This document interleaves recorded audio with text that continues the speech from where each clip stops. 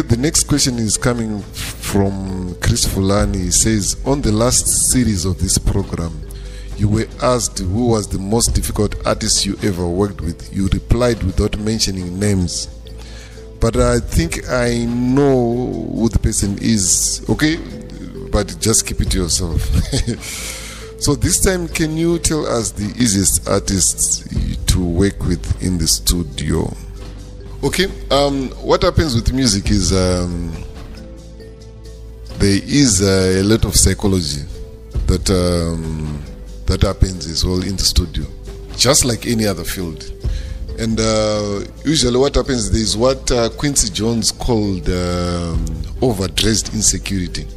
He says that uh, people with too much ego or people who are difficult to work with have got overdressed insecurity, and I agree with him because what I've noticed is that uh, the most talented artists, the most brilliant artists, ona vanazogona vaya because pane vamwe vanongoita popular vasingagone it happens with the music industry. Because there are business manje because with business you can be popular even if you are not very good if you have got very good marketing skills.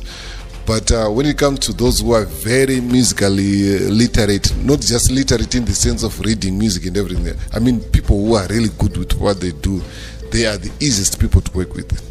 The easiest people to work with. No matter how perfectionist they are they know how to explain themselves. And uh, you know what happens with music is um, if you come to a producer or to band members and present a picture that you are very difficult and you think it makes you look cool or it makes you look like you know what you are doing what suffers is your music on. You need to treat the people that you are working with well because uh, what suffers or what benefits is your music. If you treat me badly i'll work with an attitude because with music we use inspiration one kwasai kuarmy kwamunovhundutsirana kuya kuya nekuningirwa kumusic we use inspiration. Saka inspiration nekubowana zvipindirana so people vasinganyatsogone vaiva the artists who are not so good they, are, they hide their insecurities in their attitude and it's not a good thing. So answering your question you said you wanted names of people who are very easy to work with.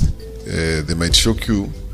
People like Jah Prayzah very easy to work with in the studio. You can't wait for the session. People like derek mpofu people like um, beu people like alexio kawara yeah.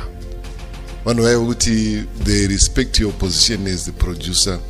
So i hope i answered your question very well Alliance Francaise, in conjunction with Monolio Studios, presents Mono Mukundu's 53rd birthday bash and the release of the album Mona Sophie.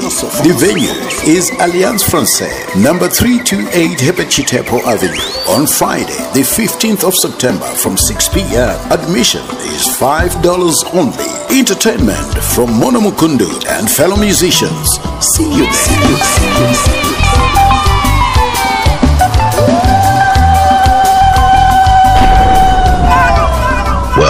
It's monosophical. It is what it is. We say it like it, like it, like it, like it.